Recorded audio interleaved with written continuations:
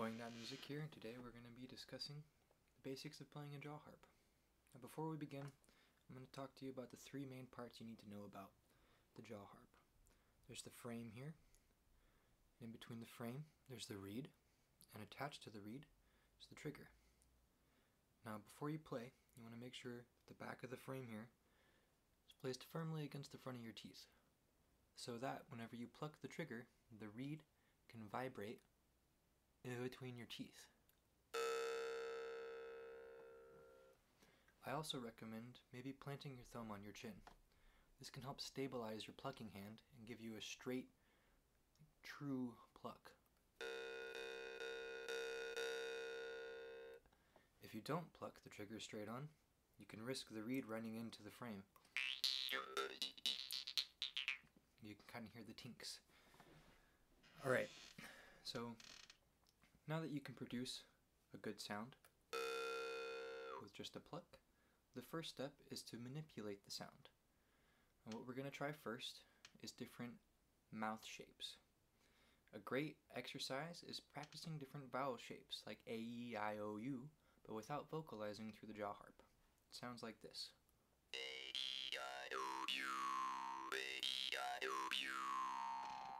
You can use different combinations.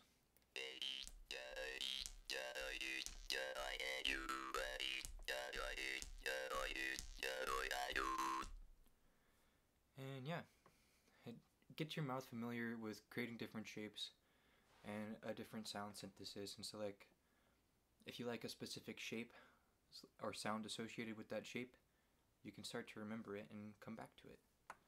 Um, yeah, and so one of the cool things about this is you can technically kind of speak through a jaw harp.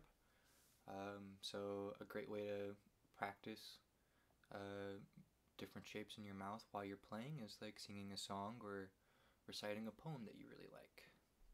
Like went to school and the teacher said, put a little knowledge in your head. Or maybe singing Cotton Eye Joe.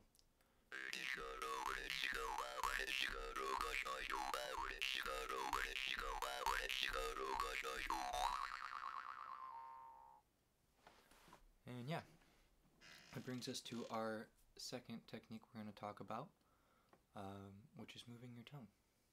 As you heard in the last, I produce that sound by moving my tongue, fluttering it back and forth really quickly. Uh, that's kind of what it sounds like whenever I vocalize it. You can experiment with moving your tongue in different ways to get different sounds.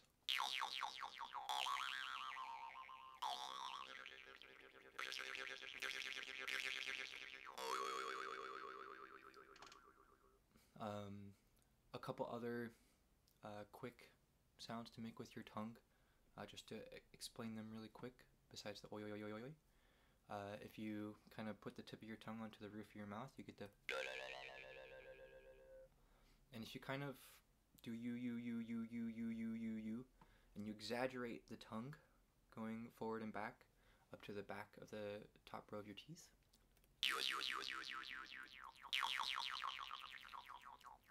Sort of get that alien phaser sound. Um, and yeah, the last technique I want to talk to y'all uh, about today is breathing. And it's one of the most important techniques. Um, it can affect your tone, um, your rhythm, and even your pitch. Uh, if you breathe hard enough, you can start to bend the pitch of the harp. Um, as you can as you can hear, like the difference in tone.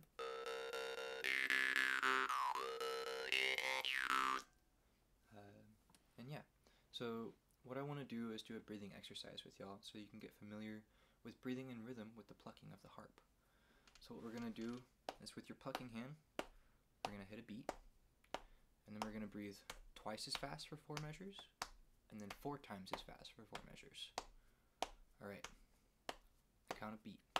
One, two, three, breathe, and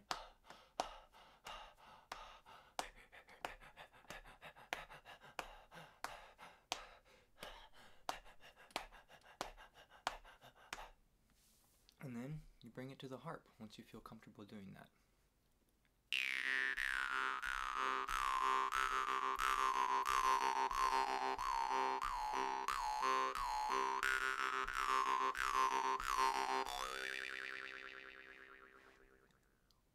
And yeah, once you practice all of these three individual techniques, uh, you can start to bring them together and try to create a song.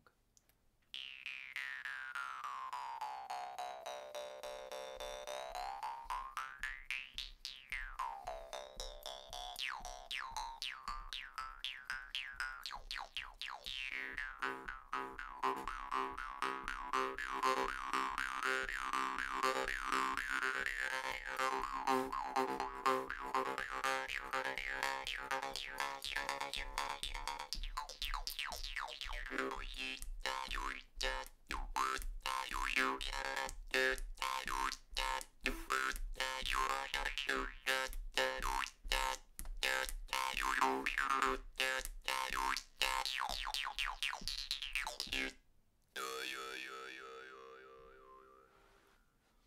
watching, and uh, yeah, if you want to see more content like this, drop a like, subscribe, and uh, yeah, peace.